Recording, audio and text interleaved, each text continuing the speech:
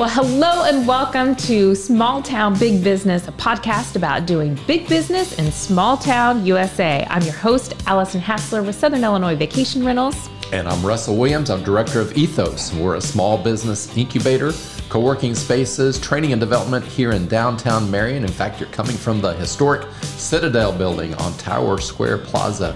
And we want to thank our sponsors for making the Small Town Big Business podcast possible. We want to thank Arcadia Wealth Group, Black Diamond Harley Davidson and RV, Fowler Heating and Cooling, Swinford Media Group, Watermark Auto Group Foundation, and of course our producers at Union Street Arts.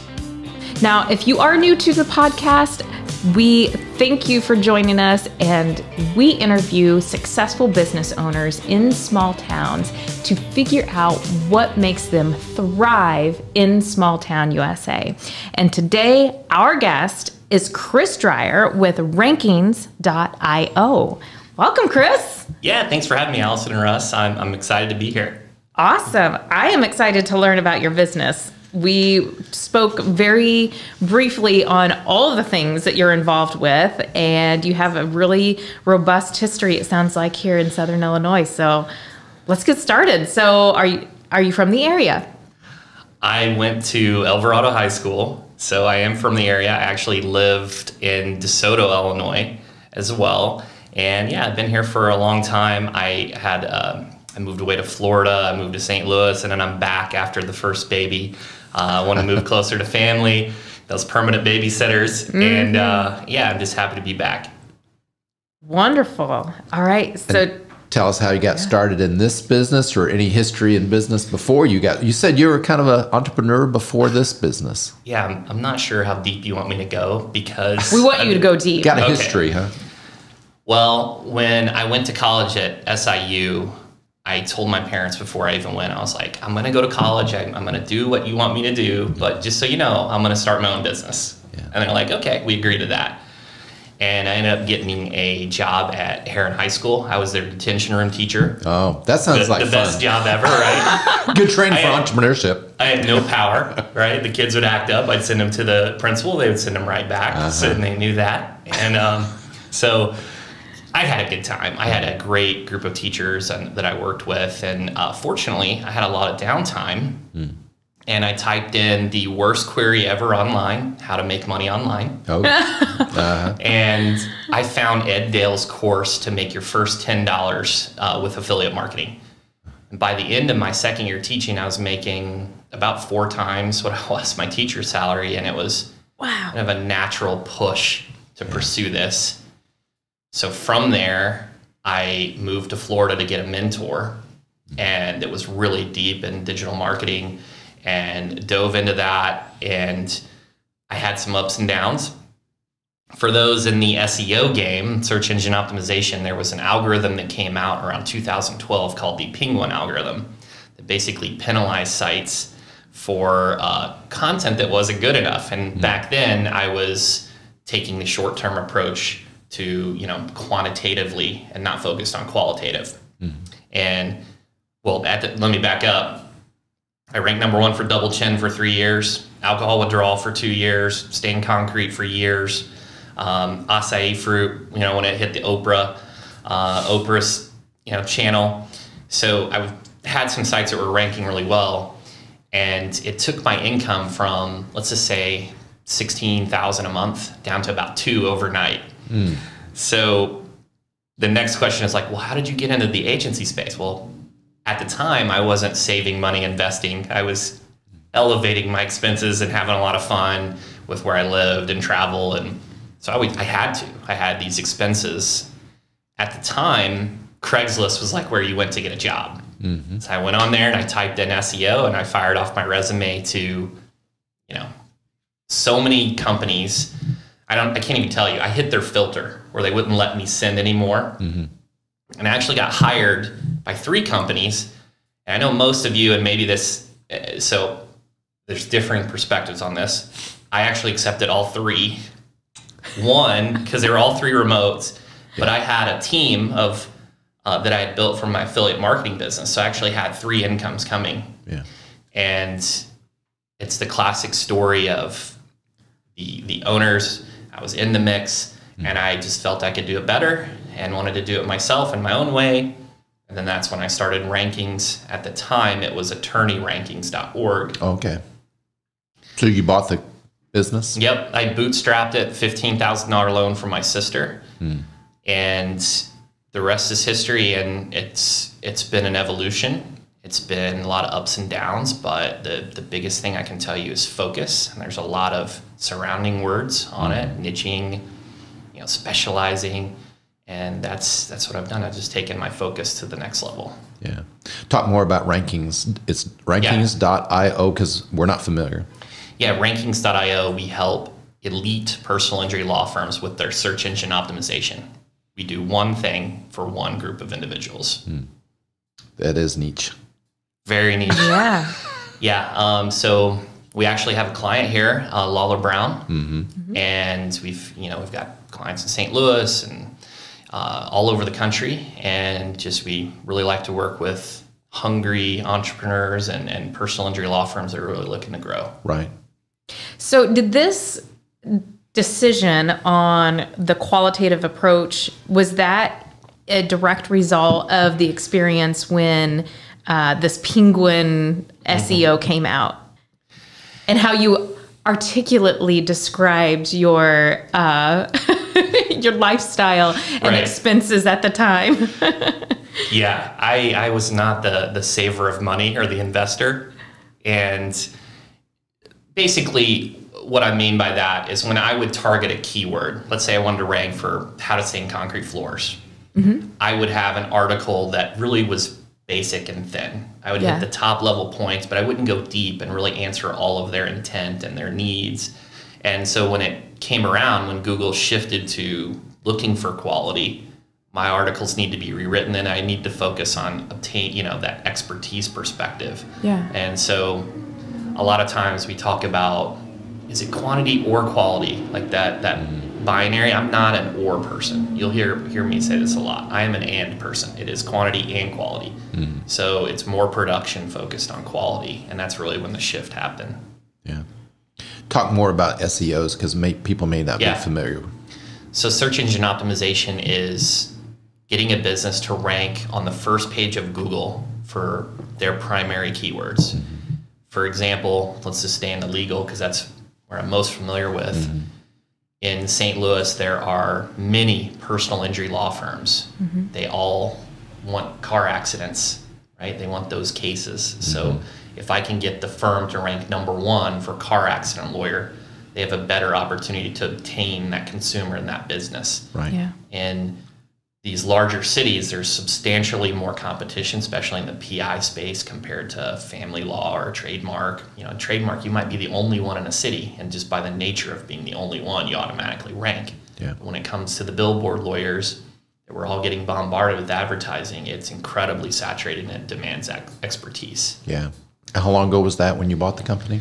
So I, I started it, I bootstrapped it, and Uh-huh. that was in 2013. Okay. when I started. And had you already started serving legal clients? At the agency I was at previously, they had many legal clients, and I was their lead You're person. familiar. Okay. And when I spoke to them, I had a non compete, I had all these things, and I said, Look, I'm going to train the person to replace me. I'm going to be an ally, I'm going to be a referral partner, advocate for you, and kind of went out that direction. But while I was in this business, I was getting LinkedIn recommendations. Now they were for my work at this company, but this they were still my testimonial. So I was developing my social proof to so that I had at least some proof that I could do the work when I moved into this this area. I was I was establishing processes and uh, figuring out my offers and all the startup business stuff, and I did that while working at a at that agency. Wow. Very interesting. So, what made you decide to move back to Southern Illinois? It's a good question. I in Florida, I was being transparent. I was uh, partying a little too much. I remember my first week that I moved there. My roommates didn't know very many people. So, well, what did I do? I went and I had a giant party. Um, so we had a DJ and we just invited all these people. And my first week there, we got an eviction notice for noise, so like a warning. And but I say this: the relationships that I built there have lasted the entire time that I was in Florida. So when I moved back, mainly it was because I wanted to be closer to friends and family. Mm-hmm. I've got a really close friend who we're all acquainted with, Ryan Gadisky. He's the athletic director at Marion. Uh, phenomenal guy, phenomenal human, and I just want to be closer to family. I also my my mom was a, a cook. My dad was a mail carrier in Carbondale, and mm-hmm. I didn't want or expect them to have to travel to me every single year mm-hmm. in Florida. I wanted to make it easier for them, especially during holidays. I moved back, and I stayed in the Metro East and O'Fallon, you know, that mm-hmm. area for several years until we had our first son. Jenna, my wife, and I had a Gray Dean, and I kind of whispered to her like what do you think about moving back home? Mm. And she kind of just ran through the door with that. And before I knew it, I had a house bought in a, a month from then. And we bought a house close to Midland, Midland Inn, and uh, the rest is history. So that's kind of why, is, is for family and being close to friends and family. Yeah. yeah. Having offices in Marion, was that strategic for you, or what was the purpose? It was really strategic. I like to separate work and life, so to speak. Yeah. And I am a workaholic, and I, I do find myself looking at business things when I am around my family, but I like the disconnect. Mm-hmm. I found that when I work from home, I always felt like I was at work. I couldn't decompress, and I needed to have a different space to go to. Yeah. yeah. And really collect my thoughts, and, and that's why I went to Marion. And, and actually, Ryan Gadisky was who found that spot for me. Okay, good. Yeah. How many employees? I believe we're up to 34 on the digital side, and then we've got about 70 contractors. Wow. Wow. So are mm-hmm. they all remote workers? Do they work around the United States? Are they are some local? All the full-time employees, except for two, are in the United States. We do have two from Pakistan that were from my affiliate days, and I have geez, there's several SIU employees. Matt Martin, who worked for the provost at SIU, uh, he's now my chief of staff. I uh, Stephen Willie, who worked for Gary Media, is now my president, and uh, he lives in over in Waterloo. But he went to SIU. We've got Chris Wisman. I don't know if you guys know Chris Wisman.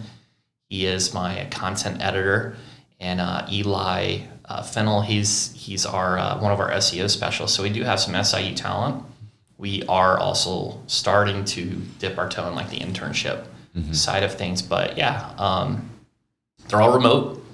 We really like to set them up for success. So we give them technology credits, a lot of training, things like that. Uh, make sure their their work environment is good. Some of them work at co-working spaces, mm-hmm. and some of them are very mobile. They'll work in a coffee shop and they work in a library, and yeah. we we allow those nonlinear work work days. Yeah. Yeah.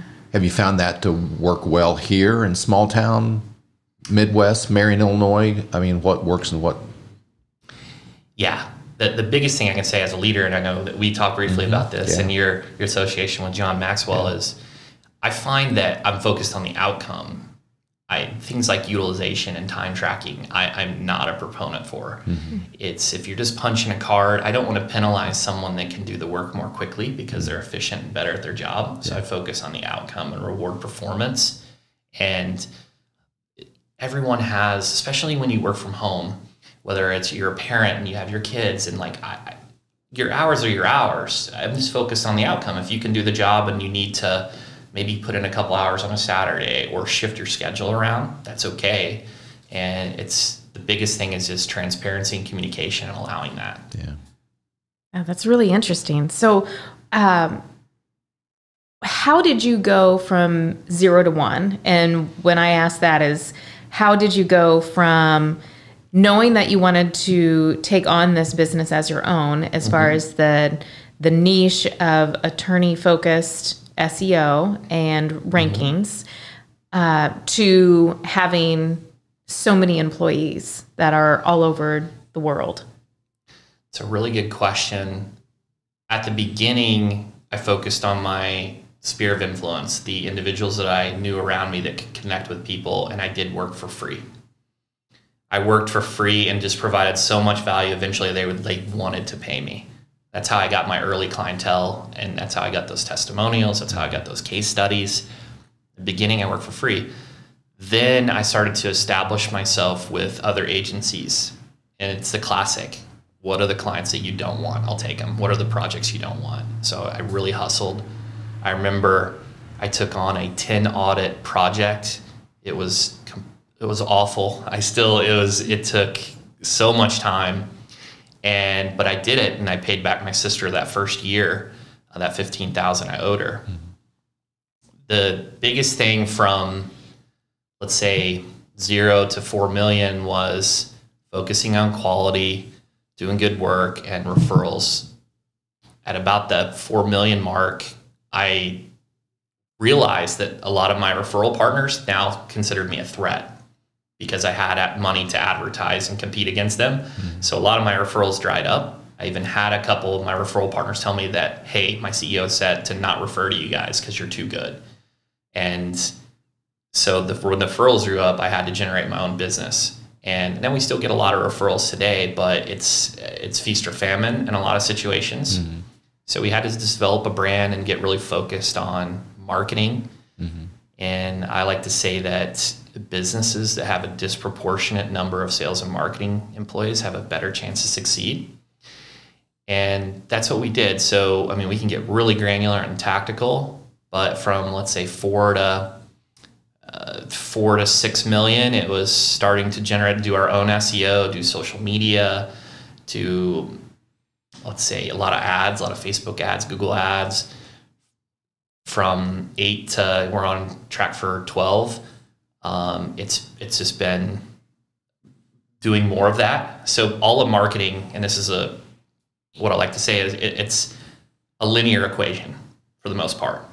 You do more cold calling, you're going to get more appointments. Do more emailing, you get more appointments. Do more SEO, you have more billboards. You do more TV, you're going to get more. It's it's linear equation. More inputs get more outputs. The nonlinear equation is referrals one person, they introduce you to two, those introduce you. So it's focusing on the linear and the nonlinear, which is, and the nonlinears comes from the experience, from doing good work, and it just compounds over time. It's, like I said, I bootstrapped. So I didn't raise funds, I didn't raise capital, and I had to take some learning lessons. I had some tough learning lessons. and talk about those too. And uh, that's where how I grew the agency. Yeah. And some of your marketing has been through Rolling Stone magazine, Rolling Stone online, I guess. Yeah, we do a lot of content creation. We've got two podcasts. I contribute to Forbes, Rolling Stone, Newsweek, Fast Company, Biz Journals. We do. Can you put in a good word for small town big yes. business? yeah. Allison and I, maybe, you yeah. know, drop, you some, drop Absolutely. some names. Appreciate it. Absolutely. what many people, and I didn't know this at the time, is I was a writer for Forbes because I was a part of their agency mm-hmm. council. And I just noticed that their profiles looked the same. Mm-hmm. I reached out to my point of contact, and a main holding company owned Forbes, Rolling Stone, okay. Newsweek, Fast Company, Biz Journals. Yeah. And I had this profile, I had this portfolio, and then that's how I got into those others. Mm-hmm. And it's just identifying commonalities, and I found that they had the same owner. Mm-hmm. Yeah. That's really interesting. So, I would love to hear about a mistake that you made early on that you've really learned from. Geez, so many mistakes. there was a big learning, uh, a lot of growth around finances. And the bigger we get, the more important it is to be data oriented and forecasting. And I had a situation, it was around 2018 where I overhired and it just completely drained my cash flow. So in year two of your it business? was 2018. That was about oh, year five okay. or so. I overhired and it just drained my cash flow, my profitability. I started to acquire debt. And that's the only point in time where we've carried debt. And I just had to grow up. I had to get better accounting, better processes around finances and forecasting and leading and lagging indicators, all those boring things that as an entrepreneur I really didn't want to learn about, but at some point I had to and find the right people to to take care of those initiatives for me. But that was a a very big learning experience. In fact, there was a point in time where if the right or if, if if something had happened and it went a little different, I could have probably went under, or it'd have been really challenging to crawl out of it. But fortunately, we just kept pushing along and got more discipline and got out of that hole. Yeah. Other challenges you've had to grow this business, be successful? There's so many challenges every single day. I'm an avid reader. A lot of your books that are around Yeah. here, I've, I've read many of them. Read I've read 50 to 60 business books every year for the last 10 years. Uh, Right now, I'm really focused on compensation. I want to overcompensate my employees. I want to make sure I can retain top talent, develop them. Sales has been a huge learning experience in terms of strategies and and uh, your pitch and presentation and your follow up and negotiation and closing. I would say right now that's like a really big initiative for me Yeah. to expand the sales force. And there's just every single day there's something. We had amazing retention for many many years. At the, at the first quarter of this year, we had a little bit more churn than normal. Like, why is this? So we had to do surveys to our clients and NPS studies and determine why that was occurring and then fix those issues. It's a constant battle, but to me, I, I tell everyone that I speak to about this, it's like a game. It's like a video game that pays me. Yeah. I was really big into RPGs, Final Fantasy, you know, Dungeons and Dragons, all these games, Dragon Warrior. And it's you have this character that you develop and gain experience, and you you earn coins, and you that's that's what business is. Yeah. It's surrounding yourself with a good team. It's just a lot of fun, and that's that's where I get a lot of passion from. Yeah. Well, So, what exactly? I wanted to clarify something. What exactly was the original fifteen thousand that you borrowed from your sister? What was that for? the original loan, I went to mm-hmm. the bank. I made my 30 page business plan. I don't, uh, I went and I presented it to the first bank I went to, and they're like, you know, probably dropped in the trash or looked at it for two seconds. They're like, we're going to give you five grand. And I was like, really discouraged. And I'm like, I'm not taking a loan out for five grand. And the 15K was like really a three month runway. I, I would highly advise most people to have a six way, six month runway fortunately in digital marketing game anybody with a laptop can do services and so my overhead costs were very low being a remote company kept them low so it was a three month runway fortunately i got you know i covered my expenses that first month assigned a couple clients took on some terrible projects that i would never take on today to pay off the loan to my sister just because I didn't want to have that from a family perspective, even though, though it's not a ton of money. I just don't like borrowing money from friends or family. Sure. In fact, I even with my friends, I'll, I'll gift them. I'll say, hey, you know, whatever. I'm like, this is a gift. Mm-hmm. I don't expect you to repay it. This is a gift. And I have that mentality. That's what it was. It was a runway for three months of living expenses. Mm-hmm. Okay. Great. I mean, what advice would you give for a startup that maybe right now they come to Ethos Small Business Incubator and I say, well, I know Chris Dreyer. Chris mm-hmm. is going to teach you something. What what would you say? Focus on business development, marketing, and sales. Yeah. chances are most people that start a business have that expertise from a technician perspective. You know, E Myth Revisited, technician, manager, owner. Most of us know the craft. We, we don't go into these areas where we don't know how to do the work. In terms of what advice I would give, is just focus on marketing and sales. How are you going to generate business? Who's your sphere, sphere of influence? Create a process to create new business every single day. Who are you going to have breakfast with? network. You want to focus on leverage, leveraged activities.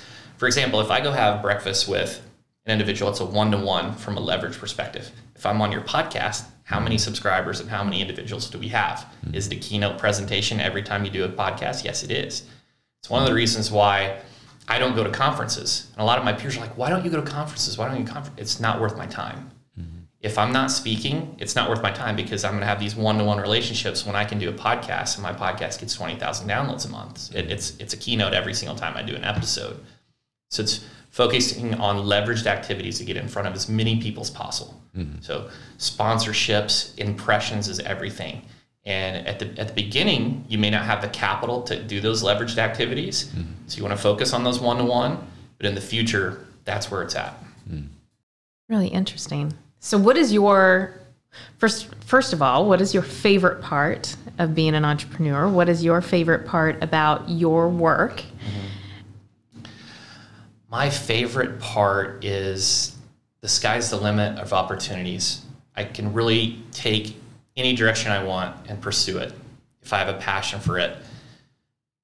At other careers and other jobs I've had, I could be the best employee and I might get an incremental raise, but I was really limited and capped on, on my potential. And so I really like the ability to be flexible and, and, and try new things and, and just have that unlimited possibility. That's awesome. So, what is your least favorite part about entrepreneurship or uh, your specific work, line of work? This is a tough one. My least favorite. I would say the finances. I I really lean heavy on individuals and I just don't have a passion. I, I am the if, you, if anybody does these disc personality assessments, I'm a DI, I'm a driver influencer. I do not like details and I'm aware of that. So I surround myself that, with people that do like the details mm-hmm. and I like to move really quickly. The, the biggest frustration is is I don't have patience. I'm yeah. like a huge driver. My family's like, "Oh, you're so impatient." My wife tells me I'm impatient all the time and that that's the biggest pain for me is when we can't move fast enough. Yeah. Does that work in small town? Because that's one of the things people think of small town. Well, slow. Yeah. So people like you, isn't it just frustrating just all the time? Or what's the advantage? And have, and have you found support here in small town? The sky's the limit in any location. We're all sentients. We all have our phone nearby or in our pocket. Mm-hmm. And today, I like to say that businesses, it's, it's like running a lemonade stand where every business is on the same street. Mm. You have access to your phone. How is your lemonade stand different? Mm-hmm. If you own a restaurant, we can all see it. We can DoorDash and all these situations. You have to be different to stand out. And taking it back to the lemonade stand, one individual that has that classic lemonade stand versus the one that serves it at the car or has the frozen lemonade or, or different types of lemons or maybe they have different payment processing methods or maybe their lemonade's green. You have to think of that when it as it relates to your business. If you're just like every other business you're a commodity. Mm-hmm. the problem with the commodity is you're evaluated based upon cost. Seth godin says if you're having a race to the bottom you, you just don't want to win. Mm-hmm. so basically what it means by that is if you continue to lower your prices and you have no profit margin, you don't have a business. Mm-hmm. The way a lot of times people think that's the first thing they do when they go to evaluate themselves versus their their competition. It's like, oh, he's charging ten dollars for a hamburger, I'm going to charge 9 mm-hmm. That's a very flawed mentality. A better mentality is to say, how can I make my sandwich better to charge twelve dollars? Mm-hmm. You see this a lot in our area right here, tons of fast food restaurants, right? Tremendous competition, very convenient, very low margin. They have to get their margin through bundling mm-hmm. and, and these meals, these happy meals. They get their margin in soda, tremendous competition versus the high end steak joint. High end steak joint, tremendous margins, better quality of food, better experience, less competition, but most people don't think about that. Mm-hmm. The high end steak joint actually has less competition than your standard McDonald's just a different way of looking at things, a different uh, form of perspective. But if you can be a person of value, mm-hmm. value is everything. Yeah, it's good. That's really good. Well, I love these gold nuggets that you've been giving us. Yeah, thank you. Is there anything else you wanted to share? Oh, I'm just excited to be here. I'm excited for the the opportunities of Southern Illinois. I was talking to Allison. I'm excited to maybe do some investment properties and yeah, I, am just excited to be here and, and contribute to the community and um, and help any individual that I can. Well, speaking of which, mm-hmm. as an expert in your field, mm-hmm. what tips or advice, without giving your secret sauce away, uh, what could you provide to a listener like me that maybe mm-hmm. has, you know, it has a has a business. Um, you know, maybe does a lot of in house marketing or in house SEO for their own website, uh, or pays somebody outside of there to, to run that for them. Um, what advice could you give them as an expert, a subject matter expert in your field? So much. Uh, the I would say just focus on leverage. And a lot of people, when they look at leverage, and we talked about it from a marketing perspective, the oldest form of leverage is I need someone to move the boulder. I need more people to move those boulders. You can get get the rocks move right? Mm-hmm. And there are different forms of leverage, and, and you just as much the more leverage you have, the more you're capable of. So if you can hire a salesperson, maybe you don't have the revenue to pay them. Maybe you can get creative with your structure. Maybe it's commission only. Then you have someone that's constantly generating business for you. You have maybe a core competency and you have these high value activities and you can offload the things that you don't have passion about and get someone to project management or do those do those tasks. We all have an hourly rate and we have to be aware of that. It's why a lot of times when we look at like mowing the yard if, if you want to move slow you do it yourself. And just take the yard for example. I got to go buy a lawnmower. I got to figure out time to mow the grass. I got to figure out all these intricacies versus it, who, not how. It is finding and identifying a person that can just do it for me. It's exponential and fast. So I would just say focus on leverage and, and looking at leverage from all areas. Maybe it's talent. There's leverage in talent. Maybe you get an internship from SIU. So there's leverage, there's pricing arbitrage and hiring staff at a cheaper wage. It's it's what are the activities that I can do that bring leverage to to my business? Interesting. I like that. Chris, if someone wants to find you, learn more about your business, how can they get a see something and learn?